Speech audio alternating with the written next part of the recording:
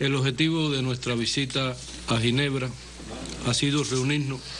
con la directora general de la Organización Mundial de la Salud, la doctora Margaret Chan, para dar respuesta en nombre de nuestro gobierno a la solicitud de ayuda realizada por ella y por el secretario general de la Organización de Naciones Unidas, señor Ban Ki-moon, al presidente de los consejos de Estado y de ministros de Cuba, general de ejército Raúl Castro Ruz, como parte del esfuerzo mundial que hay que realizar para combatir la epidemia de ébola en África Occidental. En la oportunidad, el ministro de Salud Pública cubano, Roberto Morales, informó además que en dos zonas particulares de África ya se establecieron brigadas médicas que darán servicio a los habitantes de Sierra Leona y Guinea para combatir esta epidemia. Desde el primer momento, Cuba decidió mantener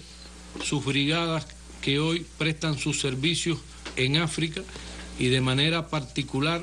aquellas que se encuentran en Sierra Leona y en Guinea Conakry. Tenemos de manera particular en Sierra Leona 23 colaboradores y en Guinea Conakry 16. En el caso particular de Guinea Conakry se encontraban de vacaciones en Cuba, lo que permitió darle una preparación